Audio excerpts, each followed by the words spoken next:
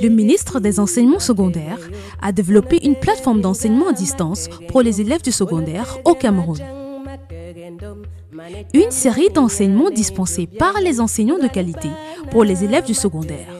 Apprendre n'a jamais été aussi simple avec l'enseignement à distance. Une initiative du ministère des Enseignements secondaires sous la supervision du professeur Nalova Lyonga en collaboration avec le ministère des Postes et Télécommunications, la CAMTEL, la CRTV et l'UNESCO. Nous introduisons l'enseignement à distance comme une autre méthode d'enseignement et d'apprentissage qui diffère du cadre de classe traditionnel auquel vous êtes habitué. Dans le mode d'enseignement à distance, vous n'êtes pas avec l'enseignant en personne, alors prenez votre temps, détendez-vous, écoutez l'enseignant, prenez des notes et visitez les liens suivants pour toute question ou réponse à vos préoccupations. Allez-y à votre rythme. La solution du Cameroun contre le Covid-19 est au-delà. Professeur Nalova Lyonga, ministre des Enseignements secondaires. Bienvenue à cette séance d'apprentissage.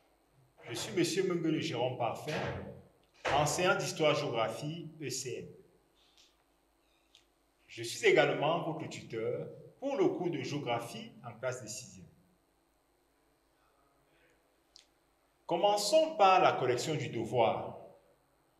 Alors, rappel de l'énoncé du devoir. En dehors du relief fait, un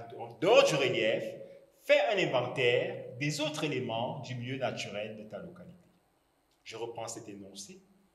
En dehors du relief, fais un inventaire des autres éléments du milieu naturel de ta localité. Si tu as fait donc ce travail, si tu as fait les observations, tu dis que les autres éléments du milieu naturel sont la végétation, les sols, le climat, la faune. Voilà d'autres éléments du milieu naturel en dehors du relief.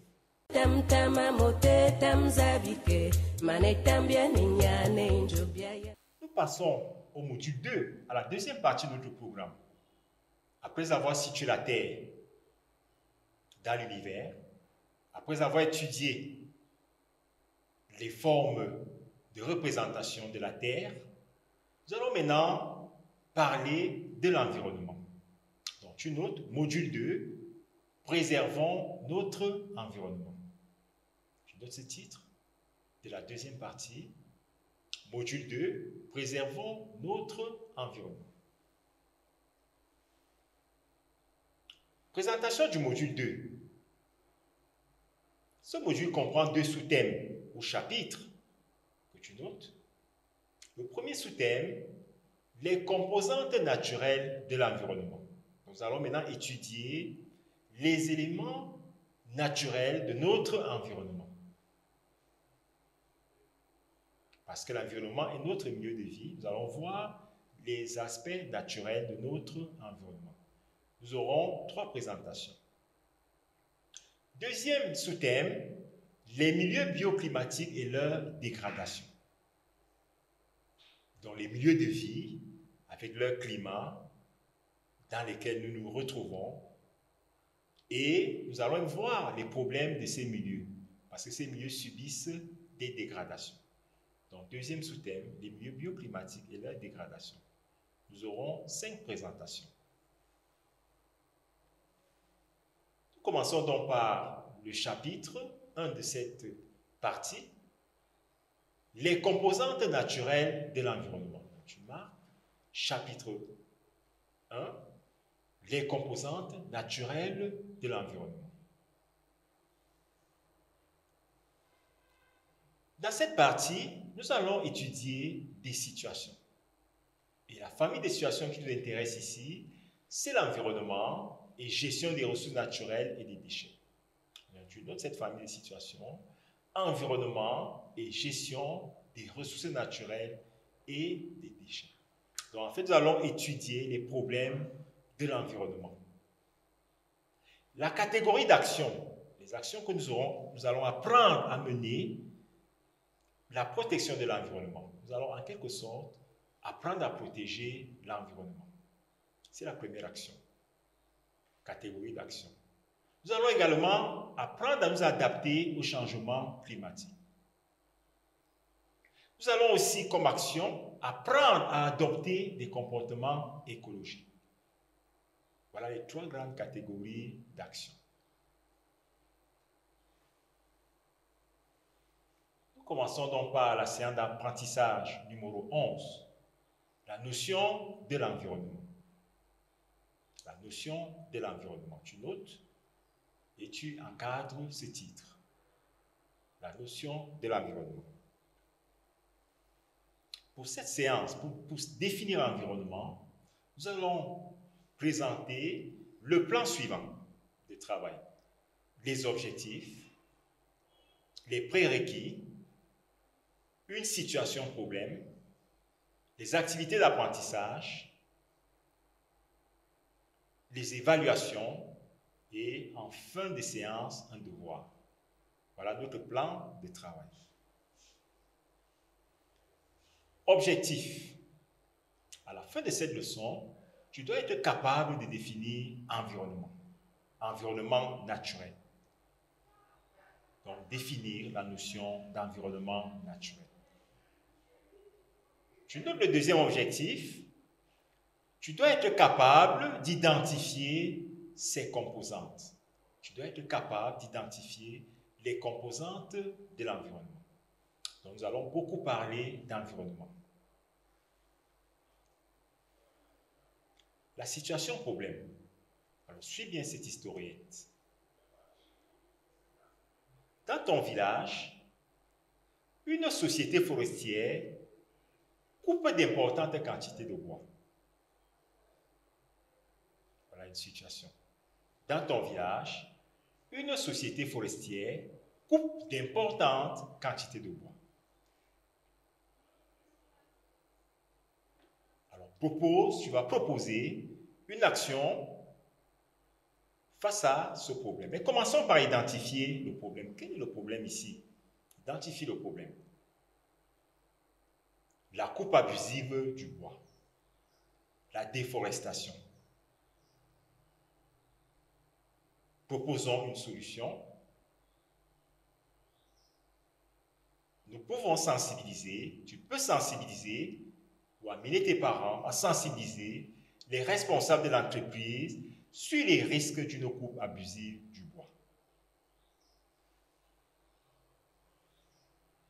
Alors nous allons donc apprendre, nous allons définir l'environnement, nous allons découvrir l'environnement, comme ça nous pouvons mieux participer à sa protection, ou même sensibiliser pour sa protection. Activité d'apprentissage, Nous commençons par la composition de l'environnement naturel. Document 1.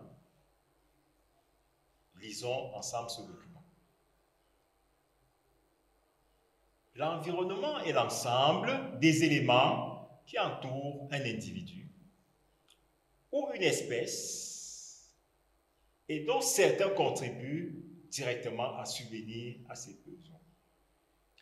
L'environnement, nous reprenons, est l'ensemble des éléments qui entourent un individu ou une espèce et dont certains contribuent directement à subvenir à ses besoins. Source Wikipédia. Consigne. Première tâche, donne la nature du document. Deuxième tâche, définir environnement naturel. Nous reprenons notre concis. Donne la nature du document, définir environnement naturel. Nous l'avons vu, ce document est un texte. Tâche 2, définir environnement naturel. L'environnement naturel est l'ensemble des éléments naturels qui entourent un individu ou une espèce. La définition, d'après notre document, l'environnement naturel est l'ensemble des éléments naturels qui entourent un individu ou une espèce. Une Nous avons déjà étudié ces éléments naturels qui entourent un individu. Nous avons la végétation. Nous avons même les sols. Le climat. Tout ça, ce sont les éléments naturels qui entourent un individu ou une espèce. Et c'est dans l'environnement naturel dans lequel nous nous trouvons. Tu prends donc ton stylo et tu notes ton cahier l'environnement naturel est l'ensemble des éléments naturels qui entourent un individu ou une espèce. L'environnement naturel est l'ensemble des éléments naturels qui entourent un individu ou une espèce. Donc vérifions si tu as retenu cette définition. Donne la définition d'environnement naturel. En notre évaluation, donne la définition d'environnement naturel. L'environnement naturel est l'ensemble des éléments naturels qui entourent un individu ou une espèce. Voilà la solution. L'environnement naturel est l'ensemble des éléments naturels qui entourent un individu ou une espèce.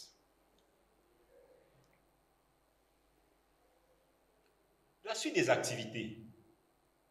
Nous avons ce document. Observe-le. Observe bien ce document.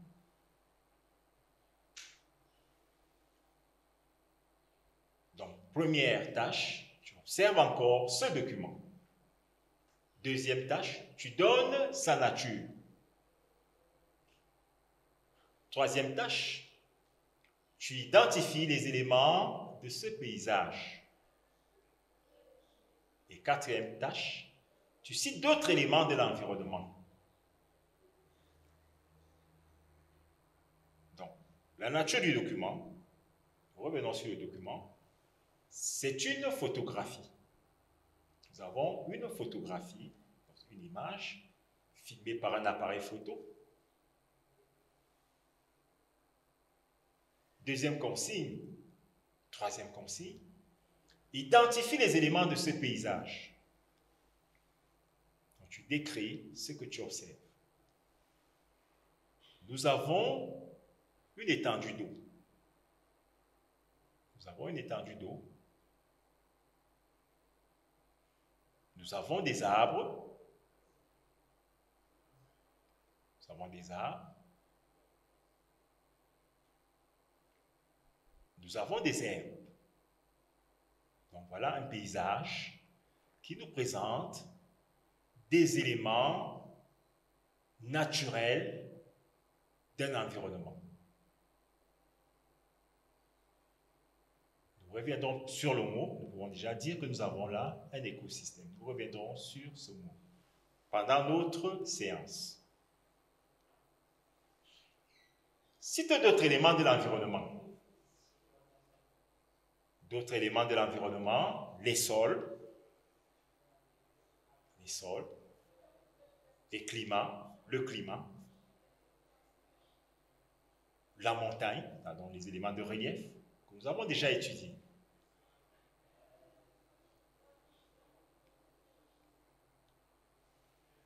Donc, le document 2 était une, est une photographie. Les éléments de paysage ici sont des arbres, des herbes, ici représentées par une pelouse, une étendue d'eau, probablement ici un lac. D'autres éléments de l'environnement, comme éléments naturels, nous pouvons avoir les sols, le relief. Mais on a également dans un environnement des éléments qui ne sont pas naturels, des éléments construits par l'homme, mais qui font partie de l'environnement. Les maisons, les routes, qui sont aussi des éléments d'un environnement. Mais ce sont des éléments non naturels.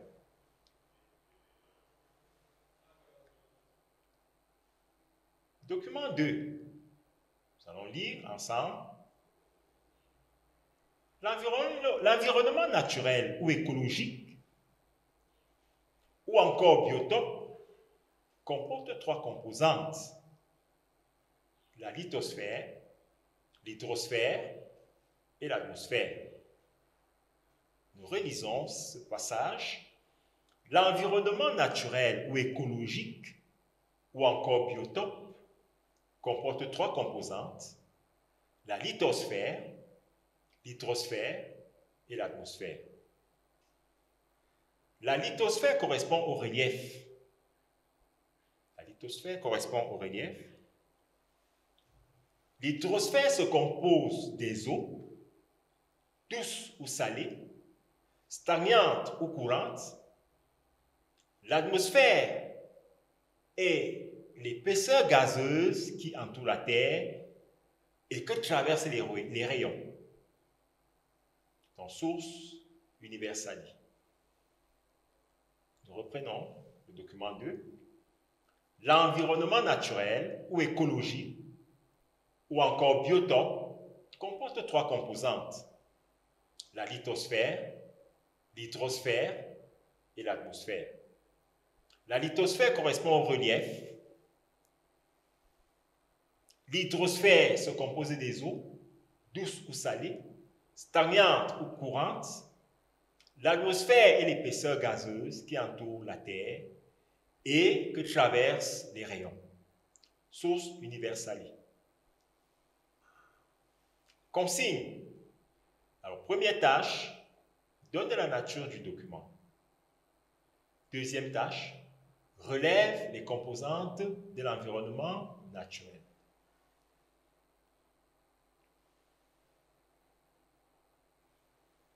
Après avoir donc lu le document, c'est un texte. Deuxième tâche, les composantes de l'environnement naturel. Alors, comme composants de l'environnement naturel, nous avons la lithosphère. le document nous propose la lithosphère. Et nous pouvons décomposer ce mot en français. Nous avons sphère et nous avons lithos, qui ici veut dire pierre. Donc la sphère de pierre, donc c'est la couche superficielle de l'écorce terrestre. Donc nous avons rigide de l'écorce terrestre. Nous avons donc la lithosphère sur laquelle nous sommes, qui fait partie de notre environnement. Deuxième composante de l'environnement, l'hydrosphère. Le mot sinon décompose en français, nous avons hydro qui renvoie à l'eau, nous avons sphère, donc la sphère de l'eau. Ça veut dire les étendues d'eau à la surface de la Terre on peut avoir des lacs, on peut avoir des rivières, des fleuves, des océans. Tout ça, c'est l'hydrosphère. Troisième couche, troisième composante, l'atmosphère. L'atmosphère. Donc, c'est la couche de gaz qui entoure la Terre. La couche d'air qui entoure la Terre. Et nous savons l'importance de l'atmosphère. Parce que l'air contient l'oxygène que nous respirons. Donc c'est une couche importante pour la vie sur la Terre. Nous avons l'atmosphère. Donc voilà les trois composantes naturelles, les trois composantes de l'environnement naturel. La lithosphère, l'hydrosphère et l'atmosphère, qui font donc partie de l'environnement. Allons noter et retenir ceci. L'environnement est constitué de la lithosphère qui correspond au relief. Donc la lithosphère renvoie au relief. Nous avons déjà étudié le relief. De l'hydrosphère, l'environnement est constitué de l'hydrosphère qui comprend les eaux. L'environnement également constitué de l'atmosphère qui est une couche gazeuse qui entoure la Terre et qui permet la vie. Et c'est une couche fragile. Donc quand les cosmonautes l'observent à partir de l'espace, ils vous disent que c'est un, c'est l'atmosphère est fragile. C'est une mince couche qui entoure la Terre et qui permet la vie, qui nécessite donc une certaine protection. Nous avons également, comme éléments constituant l'environnement, des éléments artificiels ou construits par l'homme. Nous reprenons donc ce résumé. L'environnement est constitué de la lithosphère qui correspond au relief, de l'hydrosphère qui comprend les eaux, de l'atmosphère qui est une couche gazeuse qui entoure la Terre et permet la vie. Des éléments artificiels ou construits par l'homme. Il y a les maisons, il y a les routes. Tout cela constitue l'environnement. Évaluons ce que tu as retenu. Cite deux éléments qui composent l'environnement naturel. Deux éléments qui composent l'environnement naturel. L'hydrosphère, oui, les eaux, l'étendue des, couches d'eau, les, eaux sur la Terre. L'atmosphère, oui, la couche d'air qui entoure la Terre et qui nous donne de l'oxygène, qui permet de respirer, de vivre. Voilà deux éléments qui composent l'environnement naturel. Mais on a également d'autres éléments. D'autres éléments naturels, mais aussi des éléments artificiels, des éléments construits par nous. Des aménagements. Donc tu as retenu deux éléments qui composent l'environnement, la lithosphère, l'hydrosphère. Parlons maintenant de l'écosystème. Nous avons avancé ce mot tout à l'heure. Définition de l'écosystème. Lisons pour arriver à une définition de l'écosystème. Document 3. Un écosystème est l'ensemble formé par les êtres vivants et leur environnement naturel. Par exemple, un arbre et les animaux qui l'abritent. Un lac et ses poissons. Une forêt et les animaux qui la peuplent. Source Bognem et Al, Planète Cameroun, Géographie 6 Reprenons la lecture de ce document. Un écosystème est l'ensemble formé par les êtres vivants et leur environnement naturel. Par exemple, un arbre et les animaux qui l'abritent, un lac et ses poissons, une forêt et les animaux qui la peuplent. Document 4. Disons aussi le document 4 ensemble.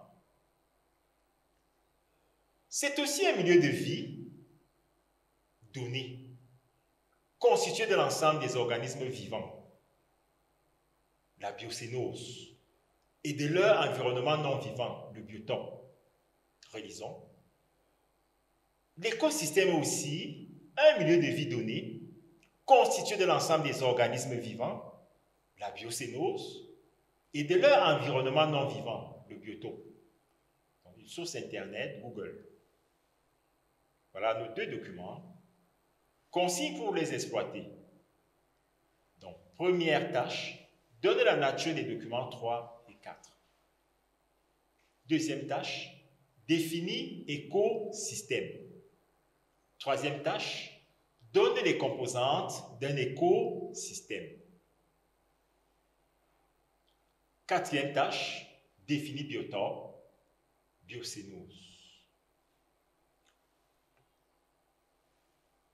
le document, les documents sont des textes. Donc, documents 3 et 4, ce sont des textes. La définition d'écosystème. Un écosystème est l'ensemble formé par les êtres vivants et leur environnement. tu dois savoir cela. Les êtres vivants, ça peut être une communauté d'êtres vivants dans leur milieu de vie, leur environnement naturel, ensemble forment un écosystème. Nous retenons simplement un écosystème et l'ensemble formé par les êtres vivants et leur environnement naturel. Voilà une définition, la définition d'écosystème. Dans le document, nous avons vu que les composants d'un écosystème sont le biotope et la biocénose. Les composantes d'un écosystème sont le biotope et la biocénose. Alors, tâche 4, nous allons définir biotope et biocénose. Le biotope est un milieu non vivant. Donc, dans l'environnement, il y a des éléments naturels, mais des éléments naturels non vivants. Ces éléments constituent le biotope. Ce sont des éléments qui ne sont pas construits par l'homme, des éléments naturels, mais qui ne sont pas vivants. C'est le biotope. Nous avons le relief. Le relief peut être classé dans le biotope. Nous avons le climat, il va pas entrer dans le biotope. Ce sont des éléments non naturels. On peut avoir une roche. Ce sont des éléments de biotope. Maintenant, la biocénose est l'ensemble des êtres vivants d'un écosystème. La biocénose est l'ensemble des êtres vivants d'un écosystème. Par exemple la végétation. Et en biologie, on nous dira que les êtres vivants, on, a, on peut avoir des végétaux, on peut avoir des plantes dans les êtres vivants. On peut aussi avoir des animaux. Dans les êtres vivants, on a des végétaux, des plantes, on a également des animaux. On peut avoir le lion. L'homme même est classé, est un animal. Donc, ce sont ces éléments-là qui constituent la biocénose, donc l'ensemble des êtres vivants d'un écosystème. Et donc, la biocénose, dans un biotope, et un biotope donne un écosystème les éléments qui sont sur un territoire caractérisé par des éléments physiques constituent un écosystème. Tu retiens que dans la définition, dans la composition d'un écosystème, il y a un biotope avec des éléments non vivants. il y a également une biocénose avec des éléments vivants. En résumé, et tu notes, tu retiens, un écosystème est un ensemble constitué par un milieu et les êtres vivants qui y vivent. On distingue plusieurs types d'écosystèmes. La forêt, les océans, les mers, les rivières, les lacs, la mangrove, la terre. Alors, définir écosystème.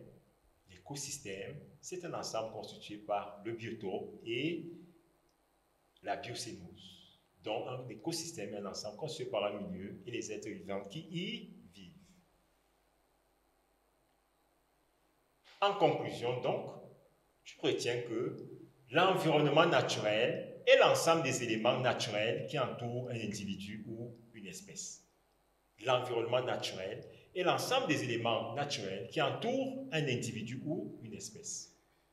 Un écosystème est un ensemble constitué par un milieu et les êtres vivants qui y vivent. Donc, euh, les ouvrages consulter. Nous avons bien Armel, Géographie du temps présent, Paris, classique Hachette. Bodnem Victor et Al, Planète Cameroun, Géographie. Nous avons également consulté Internet. Pour la prochaine séance, tu vas donc faire ce devoir. Pour chaque composant de l'écosystème, donne un exemple. Pour chaque composant de l'écosystème, donne un exemple. Nous sommes arrivés au terme de notre séance de ce jour. La prochaine sera intitulée Les milieux bioclimatiques du Cameroun. Unategesi matege yop, unatege minga matege nyum, unatege majang matege ndom, manetambia ninyane njobia yen, ngani bana matege mot, ngani lakiri watege ndong, esakina bia dinkido, manetambia ninyane njobia yen, tam tama mote tam zabike, Tam tama tonge tam zabike tam tam tama mote tam zabike mane tambia ninyane njobia yen